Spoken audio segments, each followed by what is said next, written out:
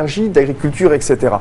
Comment est-ce qu'on va faire pour changer tout ça? Alors, la solution, entre guillemets, c'est la suivante. D'un côté, nous avons des pratiques qui sont néfastes pour le changement climatique. Nous devons modifier nos technologies pour atténuer, pour réduire les, effets du changement climatique.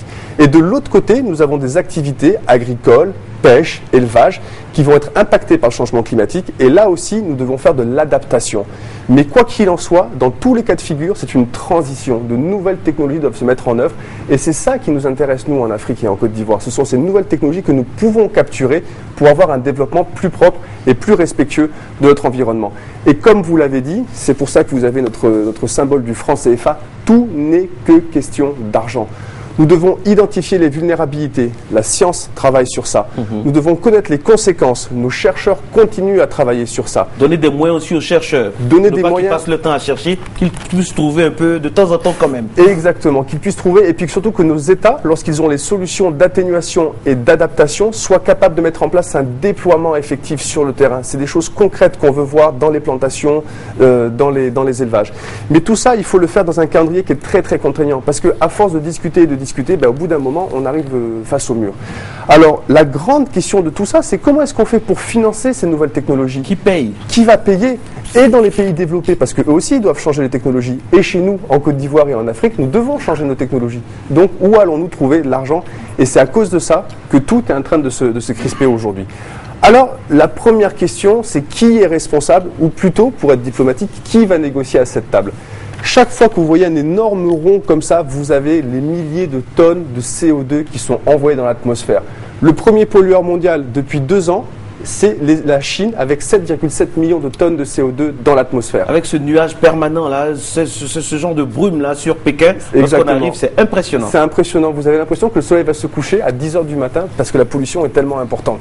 Mais surtout, n'oubliez pas que nos fameux États-Unis, qui eux ont refusé de signer le contrat, eux, avant, étaient les premiers. Ils font 5,4 millions de tonnes. Donc, grosso modo, vous vous rendez compte que l'Afrique, notre poids est ridicule. L'Amérique du Sud, le poids est ridicule. Donc, le monde va se diviser en deux. Les pays qui sont les pays pollueurs, entre guillemets, et les pays qui sont les pays en voie de développement. Et la Chine appartient à ce groupe de pays en voie de développement. Donc, Aujourd'hui, il y a deux, mondes. Le monde des pays en voie de développement, le monde des pays développés. Les pays en voie de développement disent la chose suivante. Vous savez, nous, en 1860, en 1950, on n'avait pas ces technologies. Donc la pollution d'aujourd'hui qui nous cause tous nos problèmes, c'est la responsabilité historique de l'Europe, des États-Unis, etc. Et vous vous rendez compte que ça, c'est un graphique qui vous montre l'augmentation de ces fameux gaz polluants dans l'atmosphère. Nous avons déjà dépassé un seuil qu'on appelle le seuil, le seuil de 350 particules de CO2 dans l'atmosphère. On l'a dépassé et on se dirige à 400.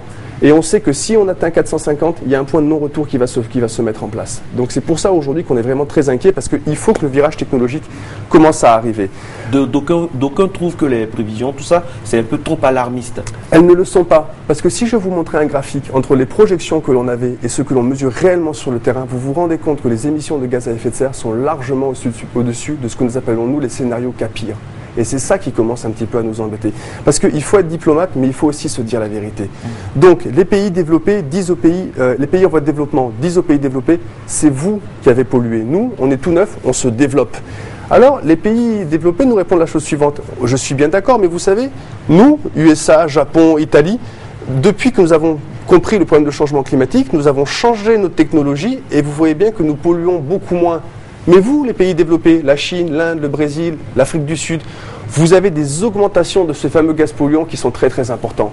Donc certes, nous, l'Europe, les États-Unis, nous avons une responsabilité historique, mais vous, vous avez une responsabilité actuelle.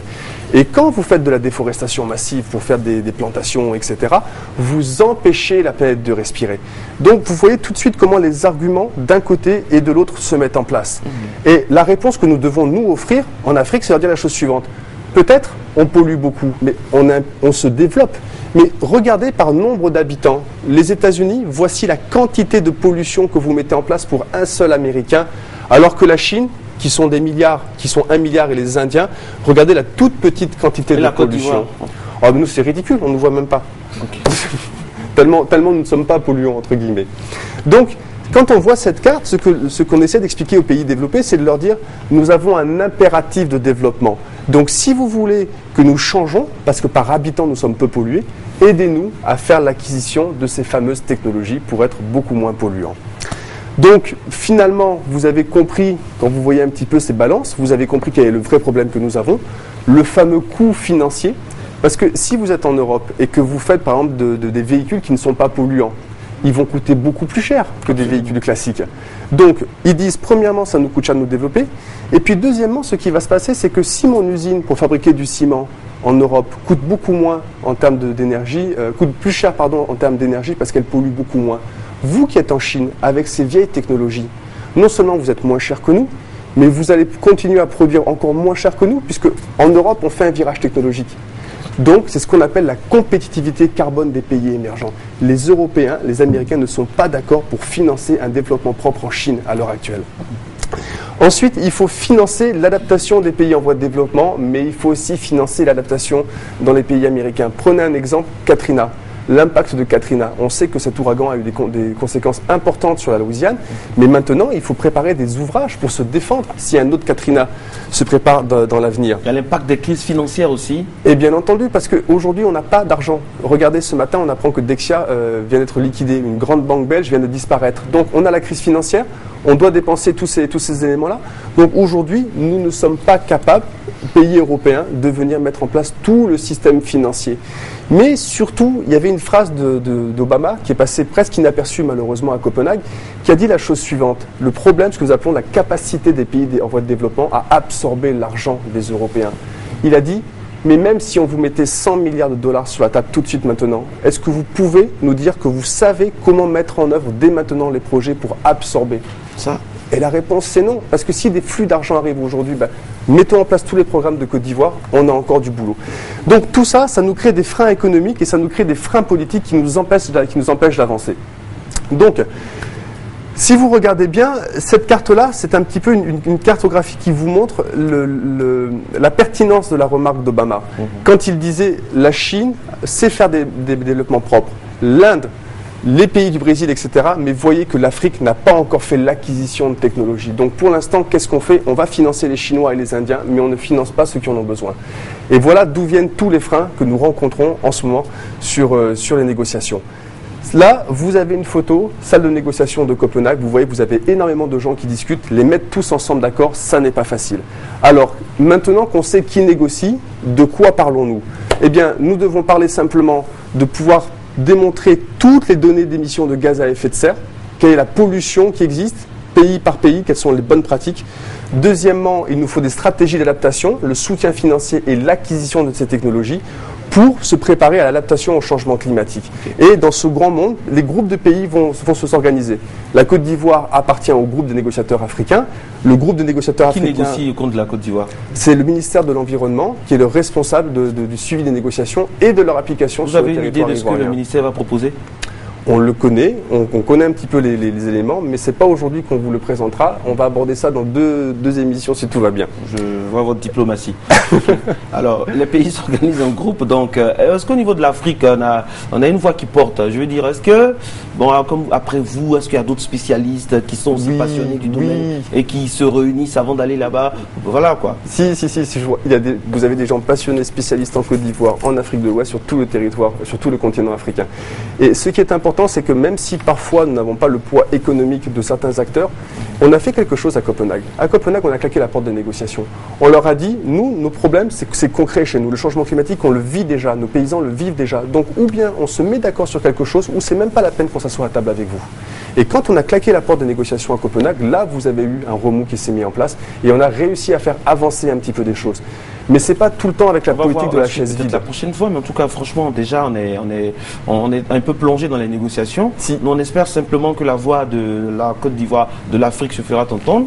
Parce que franchement, c'est pas évident. Hein, c'est pas évident. On, on, est en train de comprendre que c'est vrai, l'environnement propre, tout ça, mais ça demande énormément de, moyens. Beaucoup, beaucoup de moyens et beaucoup de. On termine Oui, absolument. Mhm. Donc en fait, très rapidement, on va aller maintenant rapidement sur, euh, sur euh, le, contenu des négociations.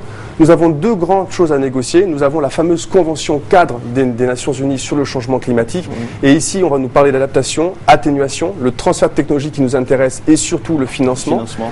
Il y a quelque chose qui est en train de rentrer maintenant dans la négociation ce qu'on appelle la réduction des émissions dues à la déforestation et à la dégradation de nos forêts. Ça, c'est quelque chose dont on va parler un petit peu plus tard qui nous intéresse parce que subitement, nos forêts deviennent un instrument financier, un arbre stock du CO2, stock du gaz carbonique. Donc il faut qu'on puisse travailler sur ces éléments-là. Mais aujourd'hui, le plus important, c'est le protocole de Kyoto. Parce que ce protocole de Kyoto, il va se terminer en décembre 2012. Et qu'est-ce qui va se passer après? Ce protocole est extrêmement important pour nous parce que c'est lui qui contient ce qu'on appelle les mécanismes de marché, de développement propre, qui vont permettre à la Côte d'Ivoire d'avoir de nouvelles technologies qui vont nous coûter euh, beaucoup moins cher et qui nous permettront d'être beaucoup plus propres sur l'environnement. Donc, euh, on va peut-être passer le résumé parce que je ne suis pas sûr qu'on a assez de temps aujourd'hui. On va continuer encore et on va aller sur cette, ce press release qui, a été, qui est sorti hier qui dit la chose suivante, l'Union européenne est sans illusion sur les conférences sur le climat. Et je, je prends cette situation, le processus de négociation internationale est pour l'instant un bateau ivre, sans capitaine et sans port où arriver. Voilà hier le bilan que nous pouvions faire sur, sur Copenhague, mais nous devons garder l'espoir. Merci beaucoup, Monsieur Lombardo. Alors, euh, Mademoiselle Inès, vous, euh, quand on voit tout ça, vous êtes, euh, vous dites quoi? Il y, a, il y, a, beaucoup à faire, ou bien on se dit, franchement, c'est pas la peine d'y aller, quoi? Non, il faut y aller parce que comme je l'ai dit, nous allons sur l'espérance. Nos populations ici en Afrique vivent déjà les effets du changement climatique. Regardez un peu ce qui s'est passé à Mondoukou euh, tout dernièrement, où les populations déjà ont pensé que c'était l'impact de, de Irène. Mais effectivement, nous vivons déjà les effets des changements climatiques. Les cultivateurs, les agriculteurs souffrent énormément. Aujourd'hui, il est question de s'adapter. Il est question de trouver de nouvelles... Euh, de nouveaux mécanismes pour aider les pays africains, dont le nôtre, à pouvoir s'adapter. Parce que comme on l'a dit, les, changements climatiques aujourd'hui que nous vivons, ils sont plus ou moins irréversibles dans l'immédiat. Et donc, il faut, il, faut, il faut pouvoir arrêter des mécanismes pour pouvoir s'adapter et, comme M. Lombardo l'a dit, pouvoir atténuer ces effets-là. Et donc, nous irons à, à, Durban en espérant avec euh, le groupe africain, avec le groupe du G77, pour pouvoir obtenir des conclusions assez concluantes pour, pour la Côte d'Ivoire et pour l'Afrique également. Ok. Alors, en tout cas, on a situé le cadre des négociations. Qui négocie, quel enjeu, quelle importance. Nous nous sommes permis donc euh, de nous étendre là-dessus parce que c'est très très important. Ce sont des sujets dont on ne parle pas souvent, mais qui sont assez euh, importants, assez intéressants.